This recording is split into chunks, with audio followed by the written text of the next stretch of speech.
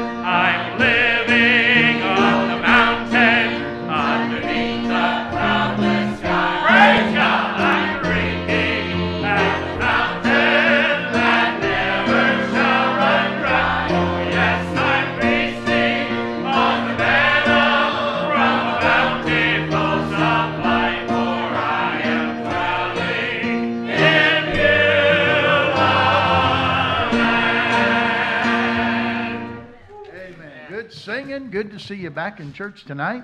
And uh, had a wonderful morning this morning. And uh, we're ready to go in 2016. Amen. And uh, looking forward to what the Lord has for us tonight. Thanks for being in church on Sunday evening. Let's pray together, shall we? Father, we bow before you in prayer tonight, and we thank you, Lord, for another opportunity for us to be together here in the house of God. And thank you, Lord, for each one that's made their way here tonight. We pray for those who are unable with us tonight because they're ill.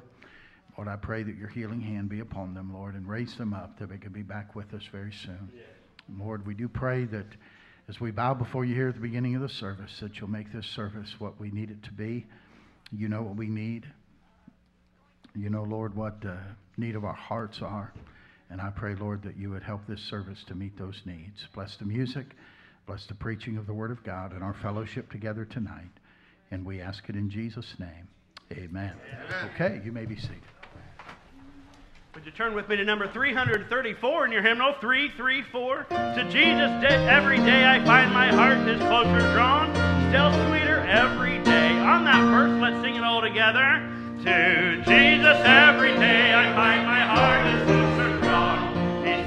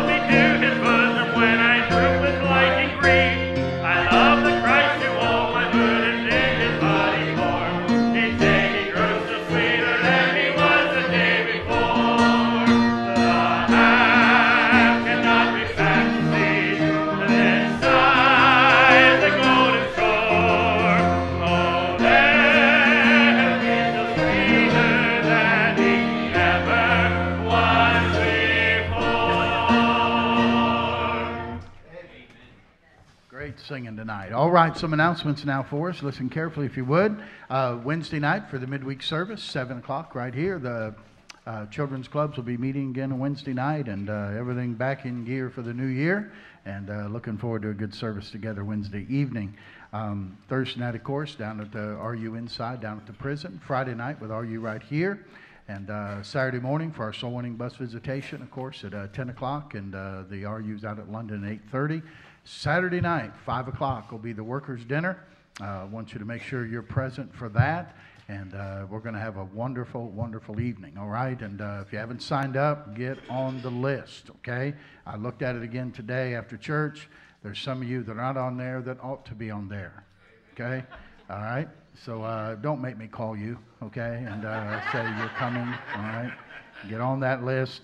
It's volunteer be drafted, I guess, so uh, be a volunteer, amen? And you'll enjoy it when uh, we need you. And uh, every, every member ought to be serving somewhere. And uh, so get involved, and you'll be happy, and you'll enjoy the dinner and the meeting on Saturday evening. That's 5 o'clock, and we have something for the we have a nursery that'll be uh, cared for. We also have the children, the school age children. John and Emily are here tonight, and they agreed that they're going to run a program for them, and uh, that's going to be exciting. And uh, so it'll be a great night on Saturday night as we have our workers' dinner and our workers' meeting. Okay, sign up down the foyer, put your name on the sheet. I think it's just a drink or dessert. Uh, we're providing the meal uh, for you on Saturday evening, so uh, come on out and be part of that and see where the Lord would have you be involved in serving Him. Okay, and that'll take us right in next Sunday. I did want to mention the uh, Grove City School of the Bible. Uh, Brother Morton, I think, said something about that last week, and uh, several were at the meeting on Sunday night. Uh, that's due to start now, January 19th. Okay, and we're ready to order the material. What do you need, Brother Morton? You need people's money? Yeah, pretty much, because we need to order the material. Right? I'm sorry. Okay, all right. Pay for the schooling? I see, okay. And um, they need to, depending on what courses they're going to take, do you have that information or do they need to give you that information? Okay. So your meeting last Sunday night, you didn't give them anything, to, applications or anything like that? You did? I did. I'm still just trying to get more that I signed before. Okay.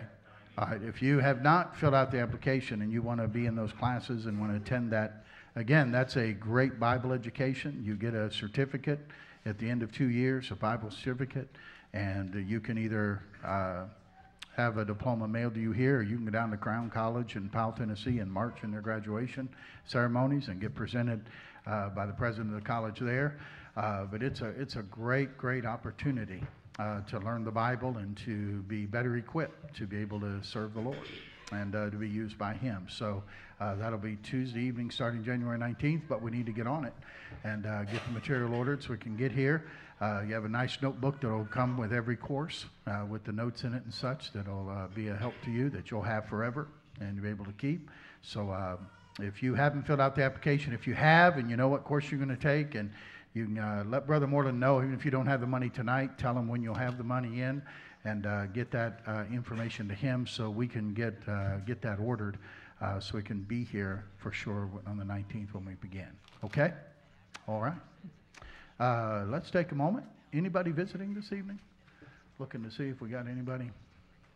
I think it's just us tonight. And is that right? Am I missing anybody? Okay. Let's hear from the choir.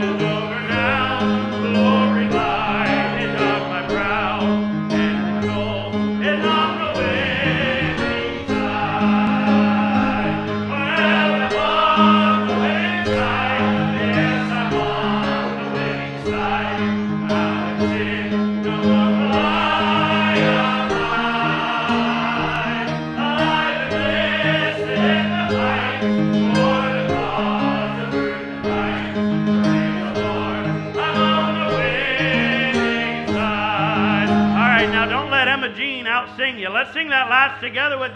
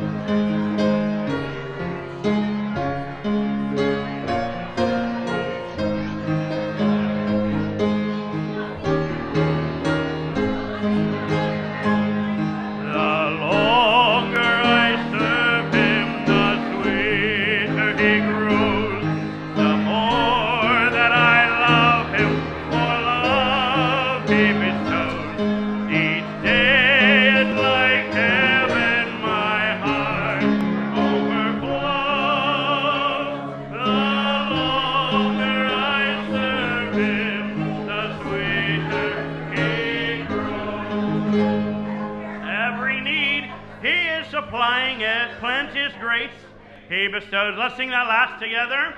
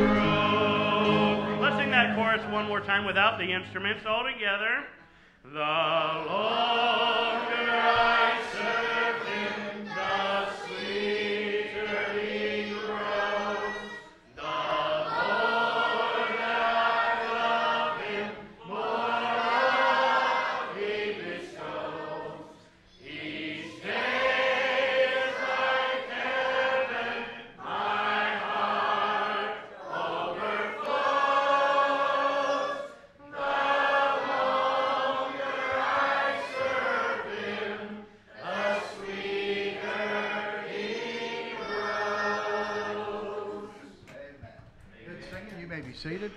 Ushers will come and get our offering tonight. This sounds way low, Brother Dean. I don't know what happened, but I noticed that second time Bob got up.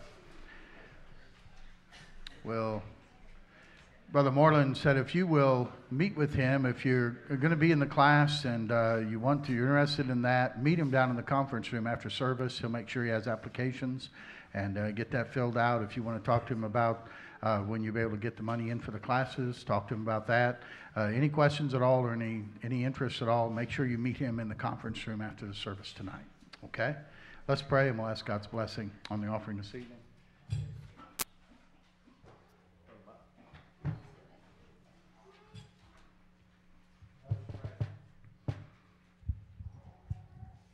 Let us pray. Father, thank you again for this uh, great opportunity that we have to come and open your word. Lord, may we be uh, respectful of it. Lord, may we be uh, attentive to it. Lord, and uh, Lord, may we be willing to uh, allow the Holy Spirit to work in and through us as your word is taught.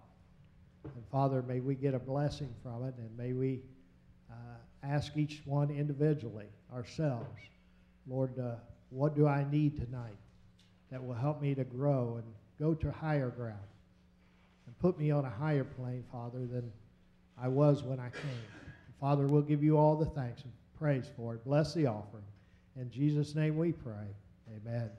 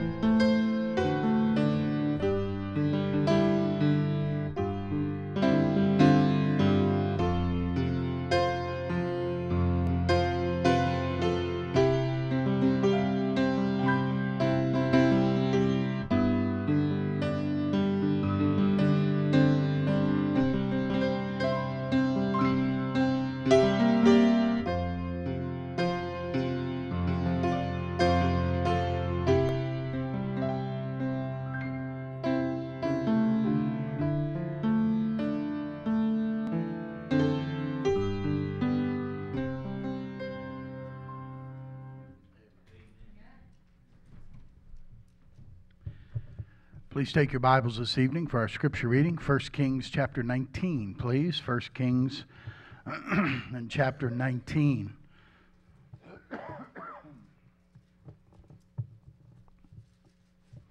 First Kings 19, please. We're going to read the first eight verses of 1 Kings chapter 19. I'll begin together on one, you join me on two, and we'll read alternately until we end together on verse number 8 of 1 Kings 19. And as our custom is, let's stand together to read the scripture. All of us standing to read God's word. And Ahab told Jezebel all that Elijah had done, and withal how he had slain all the prophets with the sword. Then Jezebel sent a messenger unto Elijah, saying, So let the gods do to me, and more also, if I make not thy life as the life of one of them by tomorrow about this time. And when he saw that, he arose and went for his life, and came to Beersheba, which belongeth to Judah, and left his servant there. But he himself went a day's journey into the wilderness and came and sat down under a juniper tree. And he requested for himself that he might die, and said, It is enough. Now, O Lord, take away my life, for I am not better than my fathers.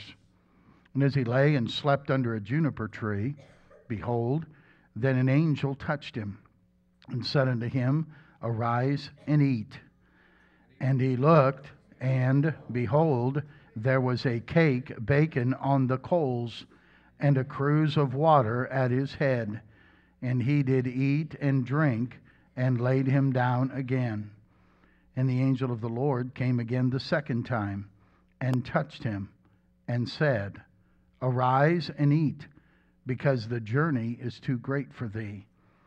And he arose and did eat and drink, and went in the strength of that meat forty days and forty nights unto Horeb, the mount of God. Let's pray together, shall we? Father, add your blessing, please, to the reading of our scripture now this evening. Thank you, Lord, for the privilege and opportunity that we have to open up your precious word tonight. And God, we were asking you to make our hearts open and ready to receive the truth that you have for us this evening. God, I pray that each of us would do our best to focus and concentrate, that we'd hear the still small voice of God. I pray you'll bless the, the special now and may prepare our hearts to be ready to receive your word. It's in Christ's name I ask it. Amen.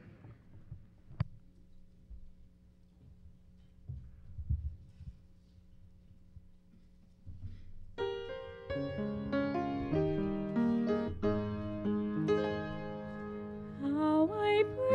praise thee, precious Savior, that thy love laid hold of me. Thou hast saved and cleansed and filled me, that I might thy channel be. Channels only, blessed Master, but with all thy wondrous power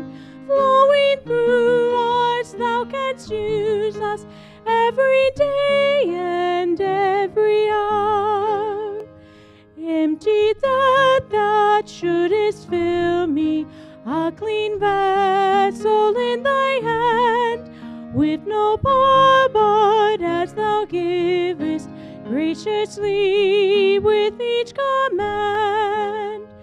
Witnessing thy power to save me, setting free from self and sin, thou who boughtest to possess me, in thy fullness, Lord, come in.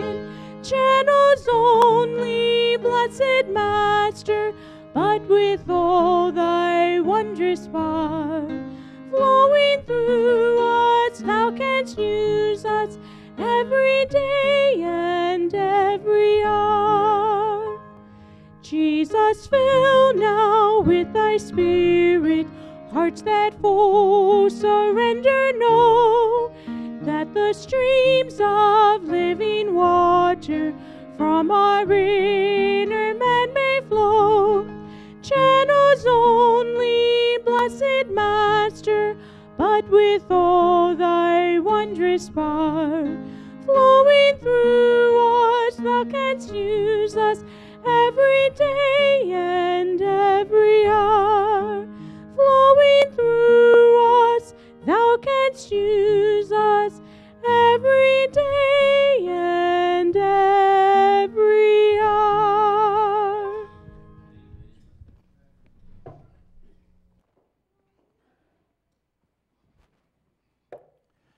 Our Father in heaven, we bow before you now as we come to the preaching of the Word of God. And Lord, I'm praying that you'll give me your help as I bring this message this evening, and please help the folks as they listen. Lord, I believe this is a message that could help many that are here tonight, and not only on a personal level, but in our circle of influence level. For we all know somebody or have dealt with someone, or we have dealt with it in our own life struggling with the matter of depression. And I pray, Lord, that you'd give us help from your word and that your word would have final authority in our life. Lord, we would uh, not so easily and readily take the words of man and so reluctantly listen to the word of God. But I pray that we would readily and heartily accept the words of God and be reluctant to take the words of man. So, Father, speak to us this evening and help me to say things that ought to be said and to leave unsaid things that don't need to be said. But I pray that through your word tonight and through the principles we'll look at, you'll give help to your people. And I pray it in Jesus' name. Amen. The psychiatry students were in their college class when their professor began a discussion to prove a point. He said, What we're going to talk about today is the emotional extremes that mentally disturbed people go through. For example, he looked at one young lady in the class and said, What's the opposite of joy? And the girl looked at him and said, I suppose it's sadness. And he looked at another young lady and said, And the opposite of depression? And the young lady said, Elation. Then he turned to a young man and he said, What about the opposite of woe? Well, the young man, Brother Jarvis, happened to be from Texas. And he said, Well, I suppose the opposite of woe would be giddy up. I don't know if that's mentally disturbed or not, but uh, they were talking about depression. According to psychiatrists at the Frank Minirth and Meier clinics, the majority of Americans suffer from a serious clinical depression at some point in their life. Most of the people never get any help for it, they just fight the battle on their own. You've seen the advertisements, probably, and you, obviously you've seen them on television. I read one and pulled it from the Reader's Digest for Paxil, P A X I L, an antidepressant. The ad started with these words depressed mood, loss of interest, sleep problems, difficulty concentrating, agitation, restlessness. And it concluded with these words Life's too precious to let another day go by feeling not quite yourself. And if you've experienced these, some of these symptoms nearly every day for at least two weeks, a chemical imbalance may be to blame. And life can feel difficult all day. You read that, uh, not just that ad, but ads like that ad, and you're likely to come to the conclusion that most, if not all, that suffer from any kind of depression are victims of a chemical imbalance. In fact, that's usually the understand modern psychiatry and really modern medicine, their holy grail is to find a pill that you can take to help you. The average American now in their medicine cabinet at home has 18 prescription and non prescription pills that they take. Many of you know older people, I mean, and, and, they get in their 60s and 70s or 80s, and they have to actually, they sell pill boxes with the days of the week on it. You can pile all your pills in so you make sure you get everything straight.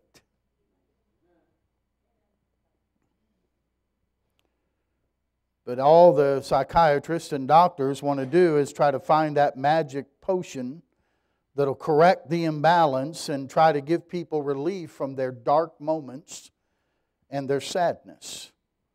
But the truth is, depression is a real part of life for many people. You know, it's not something that everybody likes to talk about. Not something is a topic of discussion when there's family get togethers. And certainly not a topic of discussion when you come to church.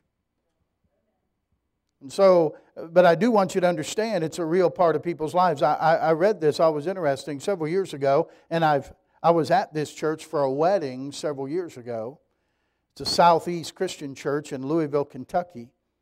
It's a big church, and they were at a Wednesday night service where they had about 700 people there on a Wednesday evening, and this is what they said. They, they asked for people to come forward and they would have the pastors lay hands on them and pray for their healing. The speaker pointed out that there was a lot of hurt in the room sickness, broken relationships, etc.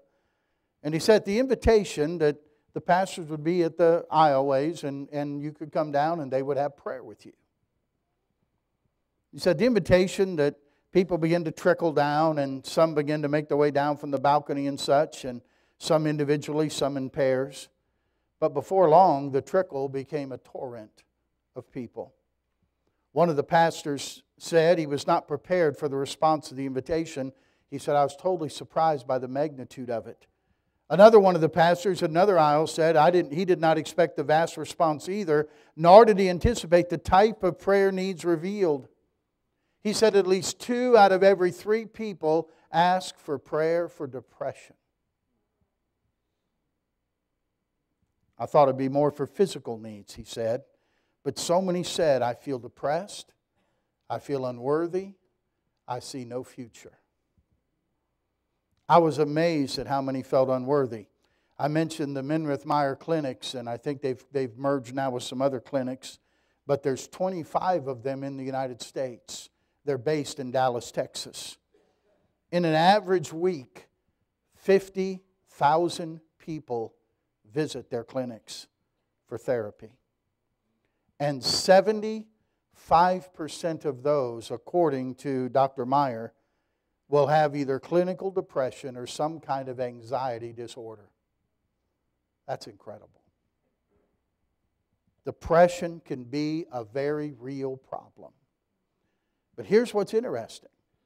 What's interesting is God gives us a case study in depression right in the Bible. And we read about it in 1 Kings chapter 19. Elijah experienced some of the classic symptoms of depression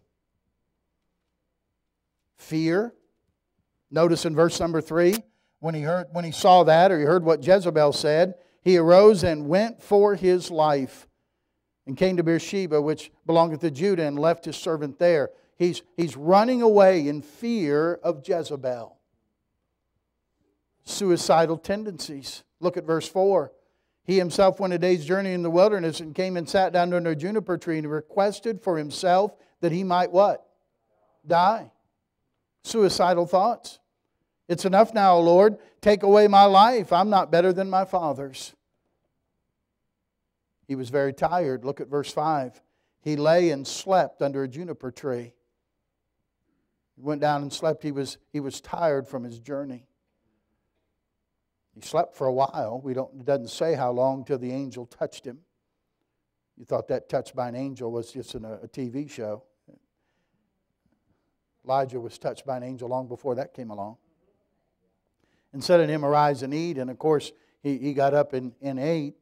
But he had a lot of feelings of rejection. Look at verse 10.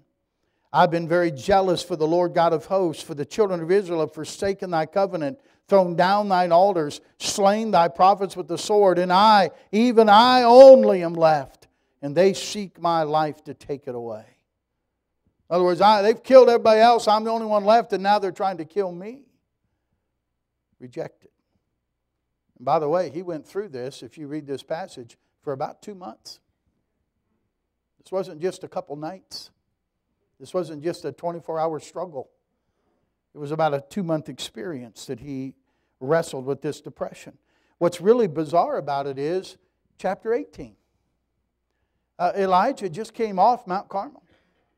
He just came off one of the greatest victories and one of the most amazing things that you read about in the Bible. Where, where it was the, the, the epic battle on, on top of the mountain, where, where the God who answers by fire is going to be the God. Remember, the Lord, He is God. The Lord, He is God. And they had the epic battle. And listen, He gave them all day to try to get Baal, the fire God, to send fire down from heaven. It should have been a piece of cake. He's the fire God. That shouldn't have been a problem. The sun's beating down on everything. And of course, they got nothing. Elijah simply put all together. Remember, then he soaked everything with water. And then he prayed a simple prayer, and boy, God sent the fire down. And then Elijah took his sword and he went and hacked up 450 prophets of Baal by himself. Amazing, amazing day, amazing victory. Then he went to pray. You remember, he's praying for rain. They had not had rain for three and a half years. And he prays, remember, and servant goes, servant goes away, he comes back, says nothing. He keeps praying, goes away, comes back, nothing. And finally, the seventh time, he comes back and he says, I see a cloud about the size of a man's fist. Elijah said, Saddle up the horses. We better get out of here. And sure enough, that cloud came in, and boy, it began to rain. Wow, what a victory. What a tremendous, tremendous, mount, uh, really a mountaintop experience that he had. Unbelievable things. And you think, why, why would he run away to a desolate corner of the earth and wish to die after such a great victory like that? And we don't know the reason. The Bible doesn't say. You say, well, I wish we hadn't answered that. We don't have an answer to that other than this that even the most dynamic, wonderful servants of God can struggle with depression. Don't, don't think that, that you're immune to it. It's not necessarily, listen, it's not necessarily a lack of faith. It's not necessarily an indication that there's immorality or wickedness in your life. Don't, don't, don't jump to that conclusion. Elijah was the man of God of his day. And he is so far down in the depths of despair, even looking up seems wrong to him. He's, he's totally confused. Now, here's the, the thing to notice God didn't leave him that way. God didn't leave him that way. He didn't say, Well, Elijah, you know what? What you have here is a chemical imbalance, and Paxil hasn't been invented yet, so too bad. Tough, tough, tough for you. He didn't say that. Long before psychiatry was ever thought of, long before healing could ever be bought in a purple pill, long before we had any clinics or psychiatrists or psychologists, long before all of that, God healed a man of depression and He gave us a record of it in the Bible. And what God did for Elijah in 1 Kings 19, God can do for you and God can do for me. God can still do that for people today. Now, what did God do to help Elijah to heal? I want you to notice that God recognized that Elijah's problem or his depression was not an imaginary problem. Would you turn that on low for me, please? Guys in the front row, sorry to interrupt you. Thank you. The, it wasn't uh, his depression. God, God understood Elijah's depression was real, not imaginary, not made up, tangible. God didn't come to Elijah and say, Get a hold of yourself. What's wrong with you? Come on, chin up, buddy. Get with it. What's, what's, what's your faith? God never treated Elijah roughly at all. In fact, in answer to Elijah's prayer to die, God just let him sleep. There are, there are some prayers you better be glad God doesn't answer. That was one of them. The angel comes and gives him something to eat and then lets him sleep some more. And then he lets him go down to the desert for 40 days and 40 nights. In all that time, God doesn't say a word. Amazing thing. He, God doesn't offer any counsel. He doesn't set Elijah down and say, now let's have a face to face. we got to have a confrontation about this. He just left Elijah alone. He gives Elijah time to rest and to think. I read this week in preparing for this message, and really two weeks ago, I was going to preach this last Sunday night, about a pastor who said, and he was writing about his experience of, I think it was about 25 years ago, one of his nephews, his sister's son, died in a fire. He said his mother was home alone when she got the phone call to tell her the news. And when she was alone, as she heard the news, he said something inside of her snapped. He said when his dad got home, he found her in somewhat disoriented and in really in a state of shock. Excuse me. The next day, he said I had a conversation with her, and she would say, David's dead. And the preacher related, I would say to her, Yes, Mom, David's dead. Then she'd talk for a while, and we'd have what seemed to be a normal conversation. He said, Then her eyes would glass over. And she'd say to me again, David's dead. And I'd say, Yes, Mom, David's dead. He said that would repeat itself over and over and over again. It's difficult. He talked about how difficult it was to see a loved one struggle like that. The doctors advised his dad that his mom needed to be put in the hospital for a while. But dad was wise enough to say, if I do that, I'll never get her back. And he would not do that. But for the next few days, he said dad never left her side. He waited on her, he held her, he spoke kindly to her, no probing questions, no pink pills, no nurses in white, just rest and love. And in time, she recovered and dealt with her grief. That's in essence what God did with Elijah. No sermons, no long counseling sessions, just love and rest. Now, that doesn't mean he didn't eventually deal with his depression because he did. And I'm going to give you the four things that, that, that he did to help Elijah defeat his depression. May surprise you, they're not, they're not complicated. They might be rather simplistic, but I think you'll see that it worked for in what God does. And if God said it and God used it, it'll work. The first thing I want you to notice that he did was he sent Elijah to church. Notice what he said. He went unto, in verse 8, he went unto Mount Horeb, or Horeb, the Mount of God. Horeb is where is, is, is also Mount Sinai. It's the place where the law was given. It's a place where God met with Moses. Did you know one of the best places to deal with depression is church? You know, one of the greatest places that'll help you with depression is church. That's why when you feel depressed and you feel down, where's the last place you want to go? Church. But it is the place you need to go.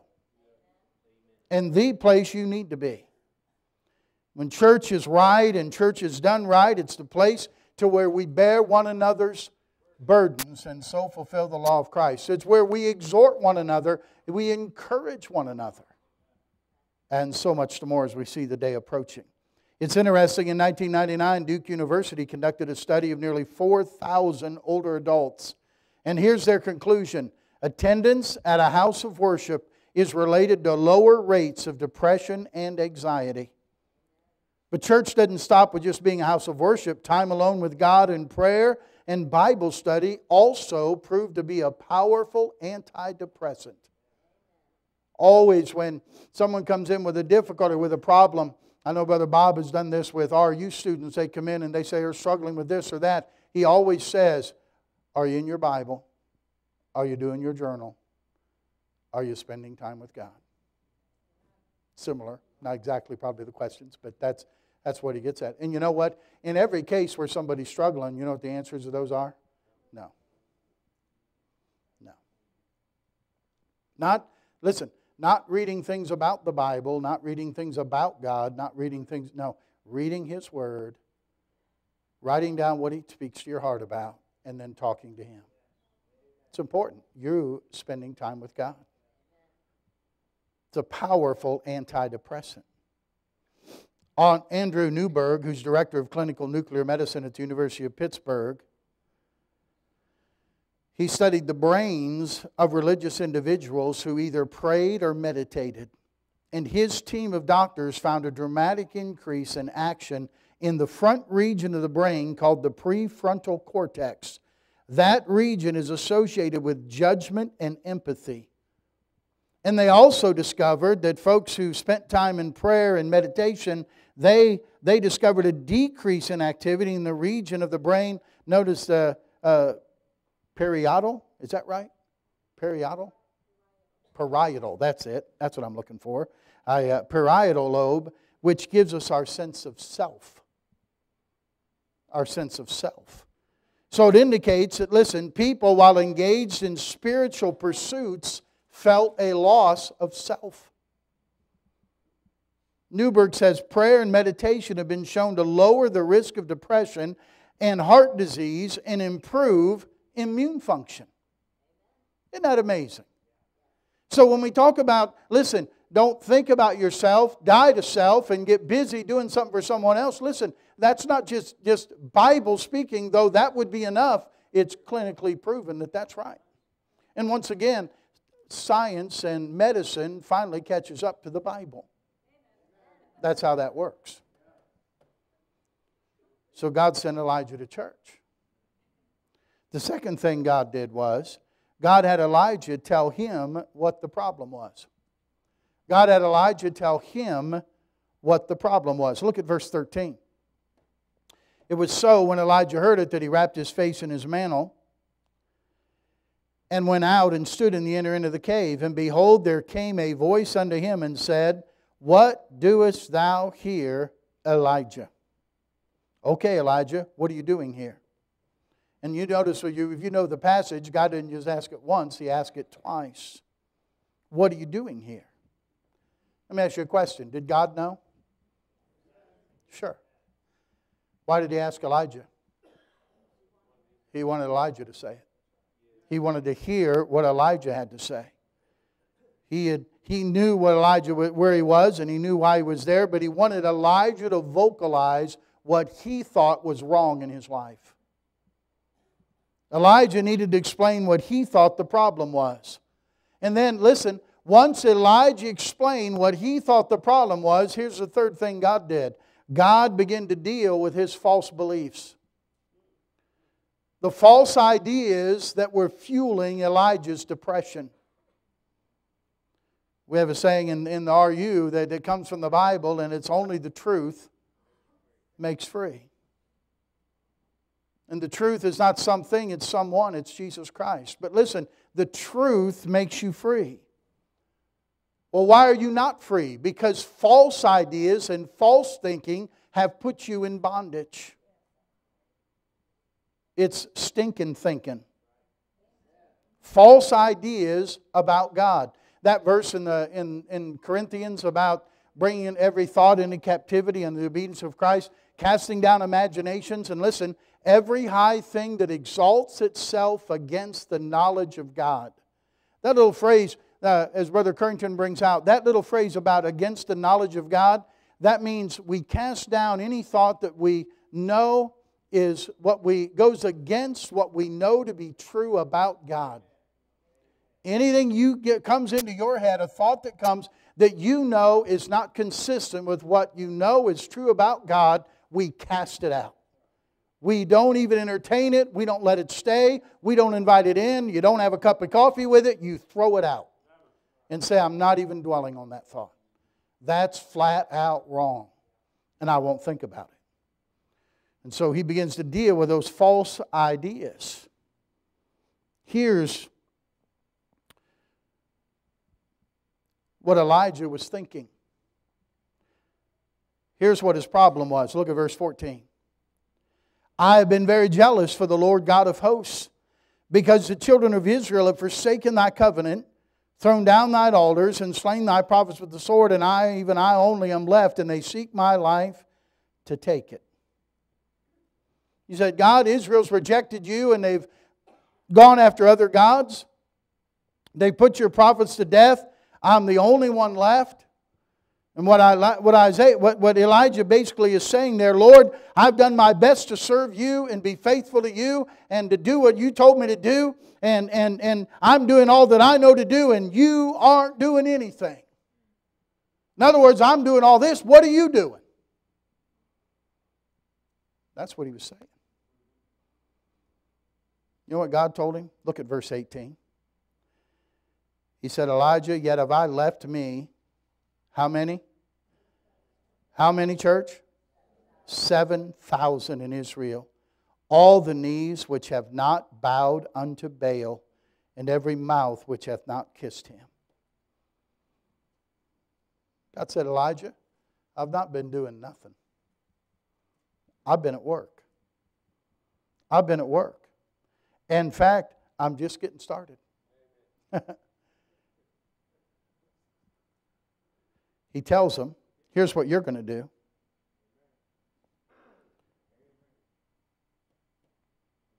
He tells them in verse 15, I want you to go and return on thy way to the wilderness of Damascus, and when thou comest, anoint Hazael to be king over Syria. And Jehu, the son of Nimshi, shalt thou anoint to be king over Israel. And Elisha, the son of Shaphat of Abel Meholah, shalt thou anoint to be prophet in thy room. And it shall come to pass that him that escapeth the sword of Hazael shall Jehu slay, him that escapeth from the sword of Jehu shall Elisha slay. And what he's, what's all that saying? You know what I think God's saying to Elijah? Elijah, you know what? I have been doing something, and I am still doing something. I have everything under control. I've got Hazael ready to be king over Syria. I've got Jehu ready to be king over Israel. I've got Elisha ready to take your spot. He said, I've got it all set. What do you mean I've been doing nothing?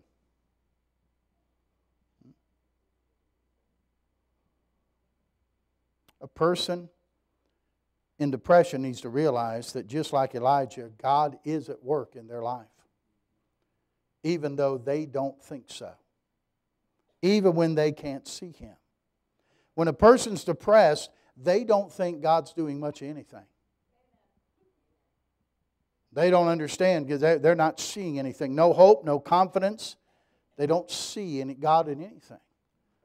And that's when you have to cast out the thoughts that you know are not true about God. The Bible says in the book of Psalms that he who watches over us never slumbers and never sleeps. God never has to take a break. God is always at work, even when we can't see Him at work. God is always at work. So he got Elijah to church. He got him to tell him what was wrong. He corrected the false thinking and beliefs that Elijah had. And that's usually what's always behind depressed people is they have wrong thoughts. They have faulty thinking. And you have to get that thinking corrected. And then let me say this. Fourthly, God gave Elijah something to do. Isn't that interesting? God finished this counseling session with Elijah. Elijah was still in the complaining mood, but God basically told him, Get back to work. God told him, I've got a job for you to do. Make yourself useful. The Lord said, Go back the way you came. He said, You're going back to Damascus. You're going to anoint Hazael to be king over Syria. You're going to take Jehu and make him king over Israel. You're going to anoint Elisha to be to succeed you as a prophet. He gave him something to do, to be useful. During a lecture on mental health, somebody asked Dr. Karl Menninger, What would you advise a person to do if that person felt a nervous breakdown coming on? Most people thought, Well, surely this doctor will say, You need to go see a psychiatrist immediately. But he didn't say that.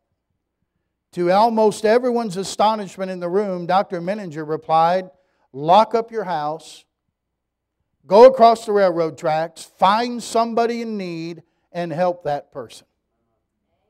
To overcome discouragement, don't focus on yourself, focus on helping somebody else.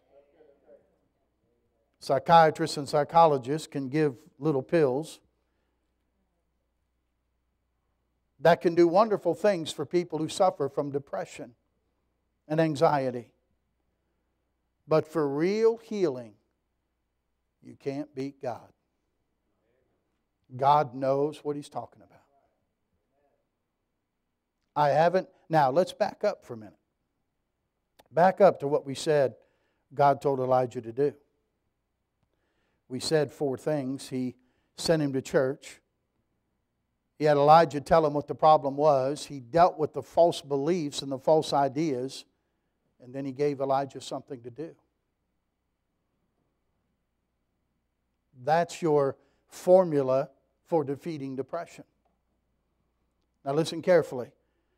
I've never had anybody in 33 years of pastoring who was faithful to church Sunday morning, Sunday school, Sunday morning, Sunday night, Wednesday night. Listened to the preaching, applied the preaching of the Word of God.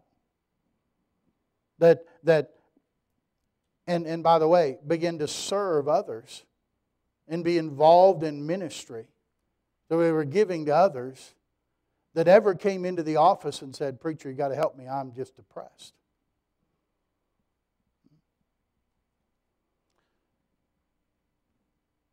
Doing these things won't just defeat depression, it can prevent depression. You practice this and you give yourself to this, and you won't have to battle depression because you're not thinking of yourself. That's really the root of depression. When we get to thinking again, there's false thoughts, false thinking. And you have to be willing to listen when God wants to correct your thinking. And God will. And He does that through His Word and through the preaching of God's Word. Let me, let me close with this this evening. During the first part of the 20th century, J.C. Penney was a man who presided over a very powerful empire of 1,700 stores. At the time, it was the largest chain of department stores in America, each one bearing his name. Though that enterprise made him incredibly wealthy, he was not devoid of setbacks and troubles. In fact, in 1929, events took place that nearly cost J.C. Penney his life. When the Great Depression struck, it came at a time of great financial vulnerability for Penney. In the good times before the Depression, he had overextended himself, borrowed heavily to finance many of his ventures. When the Depression hit, banks began to request repayment of his loans sooner than anticipated. Cash flow was tight, and Penney found it very difficult to meet payment schedules. Constant and unrelenting worry began to take a toll. He said, I was so harassed with worries I couldn't sleep, and I developed an extremely painful ailment. Concerned about his deteriorating health, he checked himself into Kellogg Sanitarium in Battle Creek, Michigan, kind of the Mayo Clinic of its day. There, Dr. Elmer Eagleston a staff physician, examined Penney and declared that he was extremely ill. Penney later recalled a rigid treatment was prescribed, but nothing helped. I was constantly tormented by periods of hopelessness and despair. My very will to live was rapidly eroding. I got weaker by the day. I was broken, nervously and physically filled with despair, unable to even see a ray of hope. I had nothing to live for. I felt that I hadn't found a friend. I hadn't had a friend left in the world. I felt even my family turned against me. Alarmed by this rapid deteriorating condition, Dr. Eagleston gave Penney a sedative. However, the effect wore off quickly, and Penney awakened with the conviction he was living the last night of his life.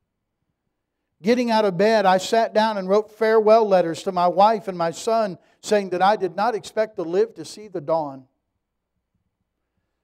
But Penney awakened the next morning, surprised to find himself alive. Making his way down the hallway of the hospital, he could hear singing coming from a little chapel where devotional exercises were held each morning. The words of the hymn he heard being sung spoke deeply to him. And going into the chapel, he listened to the singing, the reading of the scripture, and prayer. And he, said, he testifies this. He says, Something happened to me that day. I can't explain it. I only call it a miracle. I felt as if I'd been instantly lifted out of the darkness of a dungeon into a warm, brilliant sunlight. I felt I'd been transported from hell to paradise. I felt the power of God as I had never felt it before. And in a life transforming instant, Penney knew that God was there to help him. And from that day to this, he said, My life has been free from worry. The most dramatic and glorious 20 minutes of my life, he says, were spent in that chapel that morning. The words from the hymn that spoke so eloquently and miraculously to J.C. Penney were these. You know it. Be not dismayed, whate'er betide, God will take care of you. Beneath his wings of love abide, God will take care of you. God will take care of you through every day or all the way. He will take care of you. God will take care of you. Father, take the truth this evening. And I pray it will be a help and a blessing to people here and to those who we know are struggling with depression. Thank you for including Elijah's struggle in the Bible so we could learn from it tonight. Thousands of years ago. Yet, Lord, your ways, your truth is unchanging. The way you dealt with Elijah and brought about cure of his depression is the way that you can cure depression of folks in this room tonight, and you can help us to prevent depression. And Lord, I pray this evening that you'll free some that might be struggling with that discouragement and that depression. I pray they'll remember how you dealt with Elijah. And they'll look at their life and see how you're dealing with them. But Elijah listened to you, Lord, and he did what you told him to do. And I pray that each of these tonight would do what you're telling them to do. Our heads are bowed and our eyes are closed. I'll finish our prayer in just a moment. Wonder how many folks here this evening would say, Preacher, God spoke to my heart tonight. I, I needed the message that the Lord just spoke to my heart through 1 Kings 19. It doesn't matter if you're struggling with depression or discouragement, or maybe you're dealing with someone who is, and this is what you needed to be able to go to them and be a help. But I wonder how many believers here tonight would just say, Preacher, God spoke to my heart tonight. I needed the message. Pray for me. Would you slip your hand up? Would you put it up? God bless you. Amen. Amen. You may put them down. In a moment, I'll pray and we'll have our invitation. Place to start over, the place to begin anew is at the altar. Bow your knee to God. The first place he went was to the Mount of God, Mount Horeb. Go to the place where God is. Let him put his arms around you and love you and help you. Bring you to a place he wants you to be. Father, have your way now in your will in this invitation. Thank you for speaking to our hearts tonight. Lord, I pray that each one now will do what you're bidding them to do in their heart. You'll meet with us at these altars this evening. Give us help as only you can give. And I'll thank you for it. With your heads bowed, stand to your feet. As you stand to your feet, our pianist will play. As she plays, Brother Bob's going to sing the invitation. God will take care of you. You come while you Be sing. not dismayed, whatever right. betide. God will Amen. take care of you. Beneath his Amen. wings of love abide. God will take care of you. God will take care of you through every day or all the way. He will take care of you. God will take care of you. Through days of toil when heart doth fail, God will take care of you. When dangers fierce your path assail, God will take care of you. God will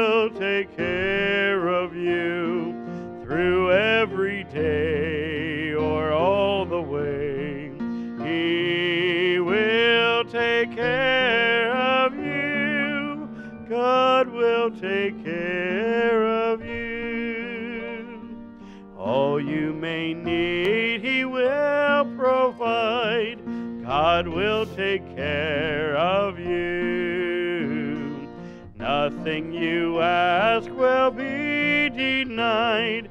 God will take care of you. Sing it with 'em. God will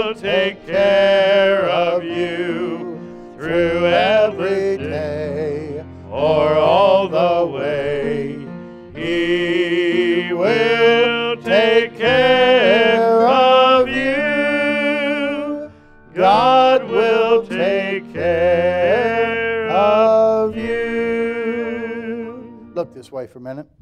I'm not, make sure I understand something. There, there are times that there are physical issues that need to be addressed. I'm not saying that never is the case. Certainly that is, but is, it is not always the final answer. Uh, don't, don't put your faith. It wasn't that uh, when, when God judged Asa, it wasn't that Asa went to the physicians. It was that he went to the physicians before he went to God. Uh, nothing wrong with going to the doctor. Nothing wrong with seeking help physically for when you have a physical problem. But the first, the first source you go to is God. And you get His guidance and His wisdom. And do what God says. And, and He'll lead you. There's nothing wrong with that. Paul wouldn't have traveled with a physician if there's a problem with doctors. Uh, Luke, who wrote Luke and the book of Acts, was a physician. Okay? And so don't, don't think that, oh, Pastor said I don't need to go to a doctor. I can just, you know, uh, follow these steps. No, I, uh, I, I'm not a doctor and I haven't played one on TV. But um, let's make sure that, let's make sure we're going to God first and make sure we're doing what God says we should do and not relying on a pill to take care of our problems and not looking to God at all to help us, okay? And uh, so, so just, just want to make that clear, all right? And uh, let's, let's move on in 2016. Amen? All right. Let's, let's pray and then we'll sing our song of dismissal. Father, thank you so much for this evening. Thank you, Lord, for meeting with us. Thank you, Lord, for a church that loves you and loves the Word of God. Thank you for each one that's here this evening. And thank you for meeting with us and for speaking to our hearts. Now, Father, we go from this place desiring to be doers of the Word and not hearers only. And so, Lord, we leave this place reminding ourselves that we're going to higher ground. And that, Lord, we desire to be servants and we desire to, to, to not compare ourselves with each other and not to judge ourselves or to judge others, but know that one day you'll judge us. We die to ourselves. We desire to have the right disposition. Lord, we desire to have the right expectation, and that is we want to be like Christ. Put us onto that, that level of living this week, that we would all consider what Christ would do in our situation, and we would follow his leading. And then, Lord, I pray that you'd help us uh, to keep our thoughts in line with the Word of God. Let the words of our mouth and the meditations of our heart be acceptable in thy sight, O Lord, our strength and our Redeemer. We love you, Lord. We thank you for a wonderful day together. dismiss us now with your care. I pray in Jesus' name. Amen. Amen. It's a grand thing to be a Christian. It's the best thing I know. If you want to see Brother Moreland, School of the Bible, stop by the conference room, please. If you haven't filled out that application, get that filled out, and uh, we can get that ball rolling, okay? Let's sing together. hey, it's a grand thing to be a Christian. It's the best thing I know. It's a grand thing to follow Jesus anywhere and everywhere I go, for it's a grand thing to be a soldier in his army here below. It's the grandest thing to be a Christian. It's the best thing I know. God bless you. You're dismissed.